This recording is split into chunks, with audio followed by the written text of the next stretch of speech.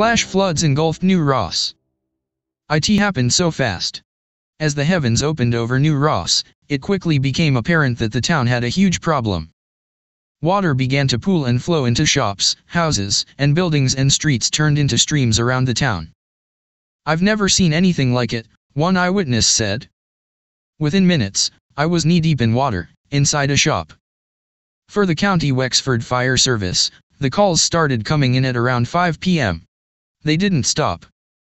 Over the coming hours, more than 30 calls would be directed towards the five units who responded to the scene, meaning that quick thinking and prioritization was required.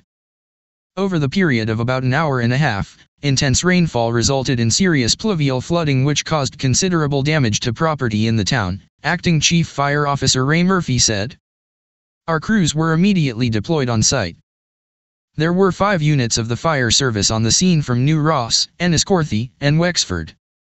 It was unbelievably busy. Eventually, the rain subsided, but fire crews along with the Civil Defense and Wexford County Council staff remained on the scene until late on Monday night, helping out wherever they were needed.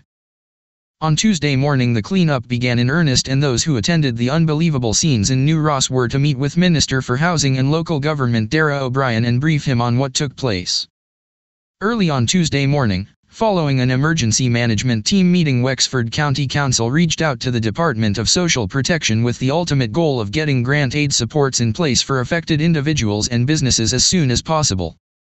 However, having gone from battling wildfires in a heat wave around the county to pulling people from submerged vehicles trapped in a flood, it's sure to go down as a week that members of the Wexford Fire Service are not likely to forget anytime soon.